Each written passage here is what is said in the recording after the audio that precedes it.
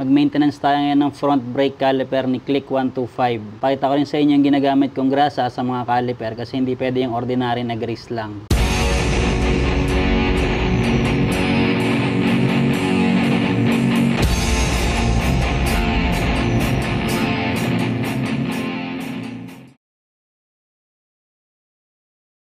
Baklasin natin tong pin hanger 8mm na socket.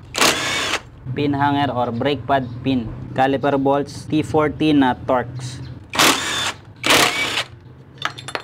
Ito na yung front brake pads natin. Makapal pa naman siya. Malayo pa siya sa wear indicator. 16,000 kilometers ang tinakbo nito. Hindi pa ako nagpapalit kay Click. Maintenance lang natin. Linisan lang natin siya. Caliper bracket, alisin natin. Hilahin lang natin to. Tapos yung rubber boot niya. Tanggalin natin. Caliper bracket. Yung rubber boot dito, alisin din natin. Yan. Tsaka itong insulator na rubber. Hilahin lang natin pag palabas. Spring pad, alisin din natin. Tapos itong piston, palabasin natin ng konti para yung mga dumi na nasa loob, malilinis natin. Piga-pigayin lang natin yung front brake.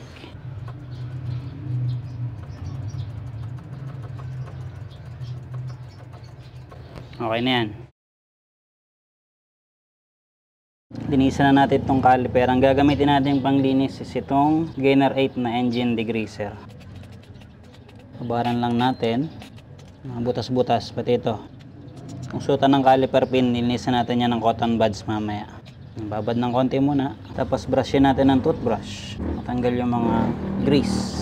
Every 5,000 kilometers, naglilinis ako ng caliper para siguradong maganda yung operation niya. Nagpe-play siya ng maayos para hindi din uneven yung kain ng brake pads. Para pantay lang siya lagi. Ayan, okay na to. Tapos, pabanlawan ko lang siya ng alcohol. Pwede rin tubig pang banlaw.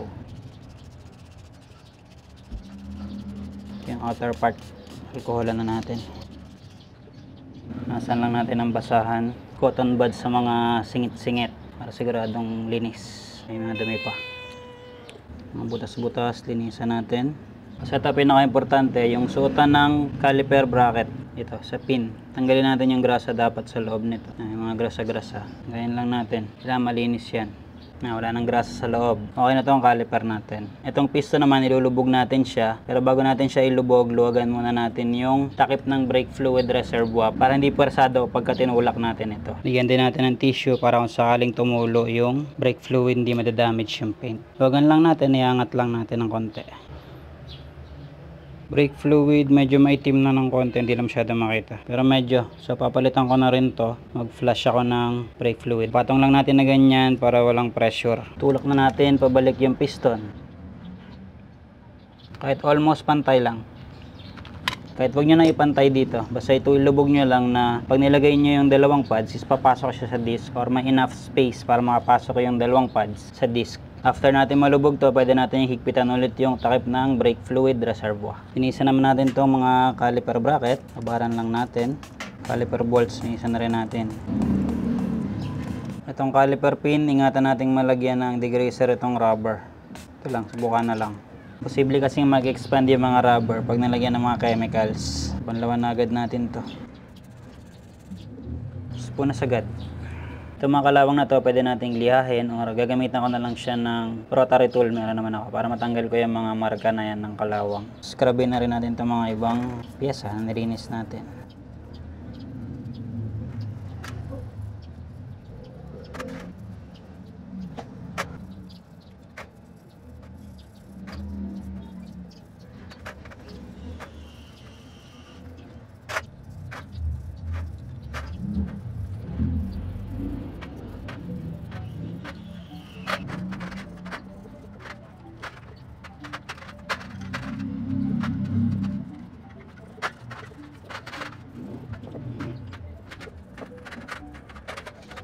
After natin ma-scrub, banlawan natin ang alcohol.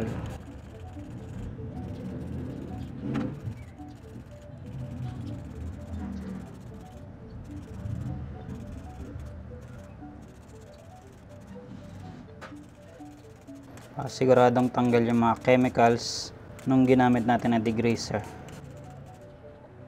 Puas punas. Tanggalan din natin ng mga kalawang, may mga konting kalawang. Rotary tool gamitin natin. Ito namang rubber boot, linisan lang natin siya ng basahan or tissue. Pwede rin alcohol. Importante dyan matanggal natin yung mga grasa sa loob. Gamitan natin siya ng cotton buds.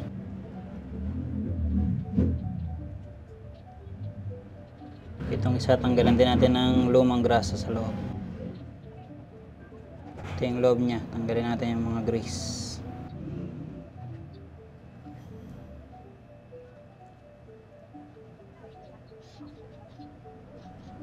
Alcohol na lang para sa outer part.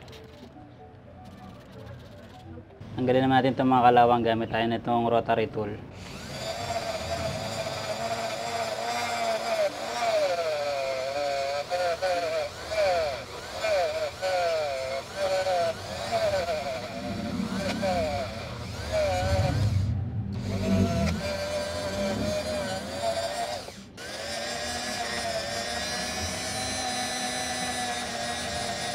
Yung caliper bracket may konti lang dito.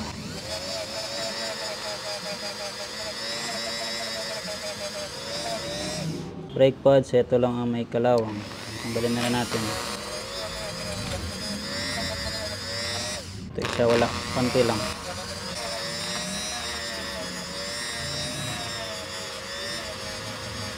Ano, okay na, punasan ko na lang. Tapos ito, alcohol ulit para mas walang grease yung brake pads natin. Tapos maggrasa na tayo. Ito yung gagamitin natin, Hardex na silicone compound brake system grease.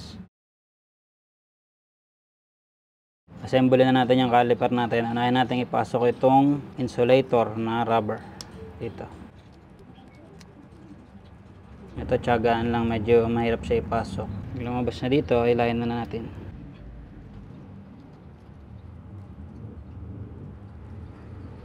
Pasok na. Caliper pin bracket, lagyan natin ng silicone grease. Iwasan niyang malagyan yung ibabaw. Pag nalagyan dito sa dulo, tanggalin nyo lang. Kasi pwedeng mag-stack up yan sa dulo nito. Hindi magpe-play ng maayos yung caliper bracket natin. Shoot natin dito, paikot. Ganyan. Para malagyan yung palibot. Make sure na pag sinusuot nyo ganyan, sumasagad siya. Ganyan yung dulo. Meron. Check natin kung nalagyan lahat. Kulang pa, dagdagan pa natin. make sure lang na merong grasa yung loob. Check nyo lang lagi. Pwede naman dagdagan ng grasa. Ano okay na tong loob, meron na. Maganda naman yung play niya, sagad. Lagyan natin yung rubber boot. Wala namang orientation to kasi pares lang yung itsura. Lagyan natin ng konti to. Tapos lagyan din natin dito. Ganun lang ulit yung gagawin natin. Pag nalagyan sa ibabaw, tanggalin. Suot natin sa insulator. Ganon din, yung diskarte. Just make sure na bumabalik pag nagpe-play na ganon. Lagyan natin ng konti dito sa rubber boot. Mga gilid lang para ma-prevent niya na pumasok yung mga dumi tsaka tubig. Pasok na natin yung caliper bracket sa mga rubber boots niya. Din lang natin. Just make sure na nakapasok din doon sa may kabilang side.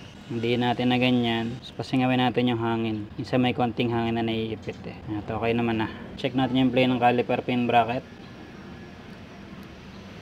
Yan, okay naman siya. Sagad tapos may play. Kabit naman natin tong spring pad pag ganyan ng orientation. Pwede rin magkabaliktad na ganyan kasi pares lang naman. Shoot lang natin dito. Grasaan naman natin yung mga contact points. Itong labi ng piston. Kasi dumidikit yan dun sa brake pads. Para malesan yung friction. Yung labi lang. Tapos itong dalawang to. Hindi natin. Nakadikit naman dyan yung brake pad na isa. Itong part na to, ayan, nakita niya mayroon siyang marka kasi gumagalaw dyan yung brake pads. Kahit paikot pwede. Paikutan natin. Saktong grasa lang. Thin layer of grease. Itong brake pads, lagyan din natin to. Lahat ng contact points, konti lang. Kasi itong dalawang to, yan kasi naka-TN yung sa may parang retainer bracket. Spring pad, ito rin kabila. Itong likod, lagyan na rin natin. Ito yung nalalapatan ng piston. Lagyan din natin. Para less friction. Itong pin sa brake pads. Pati itong rubber na to. Para siya yung magsisil ng dumi. Yung brake pads, ito unahin natin. Ito yung may marka. So ito yung nakadikit dito dati. Pares lang kasi na itsura eh. And tapos, press lang natin na ganyan. Pasok natin yung pin. Tapos kabit din natin yung isa.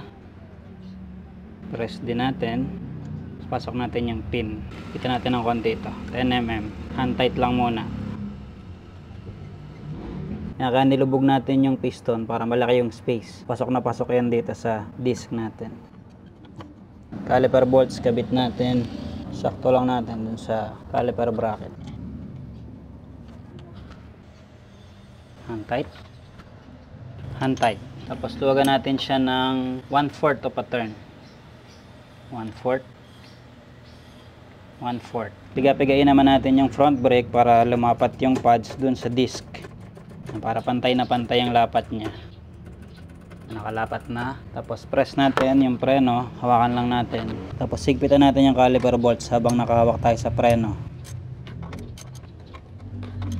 Pwede nang bitawan. Torque naman natin ng 30 Newton meters itong caliper bolts. 30. Pin hanger or yung brake pad spin 15 Newton meters. 15. Okay na.